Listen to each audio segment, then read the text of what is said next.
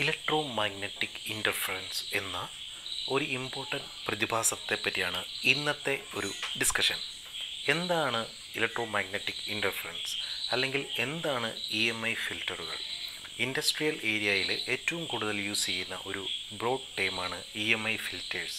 പക്ഷേ കൊമേഴ്ഷ്യൽ സൈഡിലും ഈ ഒരു കാര്യം യൂസ് ചെയ്യുന്നുണ്ട്. നിങ്ങൾ ഉപയോഗിക്കുന്ന വാഷിംഗ് മെഷീനിലൊക്കെ നോക്കുമ്പോൾ ഒരു കപ്പാസിറ്ററിന്റെ ഷേപ്പിൽ കാണുന്ന ഈ ഒരു ഡിവൈസ് ശരിക്കും ഒരു ഇ എം ഐ ഫിൽറ്ററാണ് ഇത് നോക്കുമ്പോൾ ഒരു കപ്പാസിറ്ററിന്റെ ഷേപ്പാണെങ്കിലും ഇത് ആക്ച്വലി ഒരു ഇ എം ഐ ഫിൽറ്ററാണ് ഇതിന് രണ്ട് ന്യൂട്രലും ഫേസും കണക്ട് ചെയ്യാനുള്ള ഒരു രണ്ട് ടെർമിനലും ഔട്ട്പുട്ട് എടുക്കാനുള്ള രണ്ട് ടെർമിനലും ഉണ്ട്.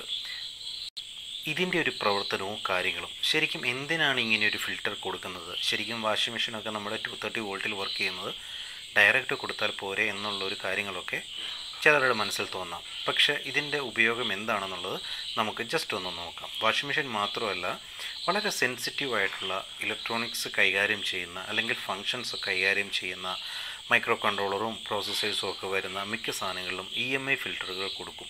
എന്തിനാണെന്ന് വെച്ച് കഴിഞ്ഞാൽ അതിന്റെ പ്രോസസ്സ് പുറത്ത് അതായത് ഇലക്ട്രോ മാഗ്നറ്റിക് ഇന്റർഫറൻസിനെ അല്ലെങ്കിൽ അങ്ങനെ ഉണ്ടാകുന്ന ഇ എം ഐ ഡിസ്റ്റർബൻസിനെ നമുക്ക് രണ്ടായിട്ട് തിരിച്ചു കഴിഞ്ഞാൽ ഇന്റേർണൽ ആയിട്ടുണ്ടാകുന്നതും ഉണ്ട്.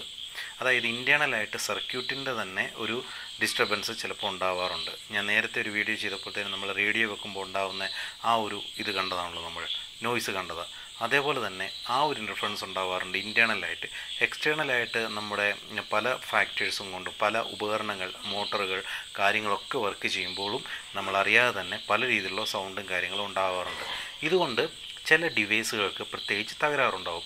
വാഷിംഗ് മെഷീനിൽ എന്തുകൊണ്ടാണെന്ന് വെച്ചാൽ മിക്ക വാഷിംഗ് മെഷീനിൽ നിങ്ങൾക്ക് ഇങ്ങനെ ഒരു ഒരു ഇ എം ഐ ഫിൽറ്റർ കാണാൻ സാധിക്കും. വാഷിംഗ് മെഷീൻ പ്രത്യേകിച്ച് വെച്ചിരിക്കുന്നതെന്ന് പറഞ്ഞാൽ എന്താണെന്ന് വെച്ചാൽ വാഷിംഗ് മെഷീന്റെ ഓപ്പറേഷൻ നിങ്ങൾക്കറിയാം കണ്ടി കണ്ടിന്യൂസ് ആയിട്ട് നടക്കുന്ന ഒരു പ്രവർത്തനമാണ്. അതിൽ എന്തെങ്കിലും തരത്തിലുള്ള ഒരു ഫ്രീക്വൻസിയോ കാര്യങ്ങളോ അഡീഷണൽ ആയിട്ട് കയറി വരുമ്പോൾ അതിന്റെ പ്രവർത്തനത്തിന് ഡിസ്റ്റർബൻസ് ഉണ്ടാവും. ഓക്കെ അപ്പം അതിനൊക്കെ വേണ്ടിയിട്ടാണ് ഇങ്ങനെയുള്ളൊരു ഇത് കൊടുക്കുന്നത്. അപ്പോൾ ഈ ഒരു ഇ എം ഐ ഫിൽറ്ററുകളിൽ മെയിനായിട്ടുള്ളതെന്ന് പറഞ്ഞാൽ അതിന്റെ അകത്ത് ഉണ്ടാവുക കപ്പാസിറ്ററുകൾ ഇൻഡക്ടറുകൾ അല്ലെങ്കിൽ ചിലപ്പോൾ റെസിസ്റ്റേഴ്സ് ഉണ്ടാവാറുണ്ട് ഉള്ളതുമുണ്ട് ഇല്ലാത്തതുമുണ്ട്. മെയിനായിട്ടുള്ളത് കപ്പാസിറ്ററുകളും ഇൻഡക്റ്റേഴ്സുമാണ് നമുക്ക് ഇതിന്റെ അകത്ത് നോക്കാം. ഇതിന്റെ അകത്ത് എന്താണുള്ളതെന്ന് വെച്ചാൽ നിങ്ങൾക്ക് കാണാം. അതിന്റെ വോൾട്ടേജ് റേറ്റിംഗ് എഴുതിയിട്ടുണ്ട്. അതിനുശേഷം two into two milli henry plus two into point four seven micro farad അതായത് രണ്ട് മില്ലി ഹെൻറിയുടെ രണ്ട് ഇൻഡക്ടറുകളും രണ്ട് milli ഹെൻറിയുടെ sorry point four seven micro ഫാരഡിന്റെ രണ്ട് കപ്പാസിറ്ററുകളും ഇതിന്റെ അകത്ത് കൊടുത്തിട്ടുണ്ട്. പ്ലസ് അഡീഷണലായിട്ട് രണ്ട് two into two point two N എഫിന്റെ ഒരു കപ്പാസിറ്ററും plus four seventy kilo ohm റെസിസ്റ്ററും കൊടുത്തിട്ടുണ്ട്. നമുക്ക് നോക്കാം. ഈ കാണുന്ന രണ്ട് കപ്പാസിറ്ററുകളാണ് നമ്മുടെ point four seven micro farad capacitor. ഈ കാണുന്ന ബ്ലാക്ക് അതായത് മുകളിലും താഴെയും കാണുന്ന ഈ ബ്ലാക്ക് പോർഷൻ ഹൈ ഇത് ചെയ്തിരിക്കുന്ന ഹൈലൈറ്റ് ചെയ്തിരിക്കുന്നതാണ് രണ്ട് മൈക്രോ ഹെൻറിയുടെ രണ്ട് ഇൻഡക്ടറുകൾ ഇതാണ് ഫോർ സെവന്റി ഈ പാരലി കാണുന്നതാണ് ഷണ്ടായിട്ട് കൊടുത്തിരിക്കുന്നത്. പാരലി കൊടുത്തിരിക്കുന്ന റെസിസ്റ്ററാണ് four seventy kilo ohm resistor additional ആയിട്ട് കൊടുത്തിരിക്കുന്ന ഈ രണ്ട് കുഞ്ഞ് കപ്പാസിറ്റർ സെറാമിക് പോലെയുള്ള കപ്പാസിറ്ററാണ് ടു എൻ എഫിന്റെ രണ്ട് കപ്പാസിറ്റർ ഇത് എൻക്ലോസ് ചെയ്തിട്ട് എൻക്യാപ്സുലേഷൻ ചെയ്തിരിക്കുകയാണ് മൊത്തം. എപ്പോക്സി അടിച്ചിട്ട് എൻക്യാപ്സുലേഷൻ ചെയ്തിരിക്കുന്നത് നമുക്ക് ഊരിയെടുക്കാൻ പറ്റത്തില്ല. പിന്നെ ഇതിന്റെ അകത്ത് ഇത് എർത്ത് കണക്ഷനുമാണ് അതായത് രണ്ട് ഇൻപുട്ടുണ്ട് എർത്ത് കണക്ഷനുണ്ട് രണ്ട് ഔട്ട്പുട്ടും ഉണ്ട്.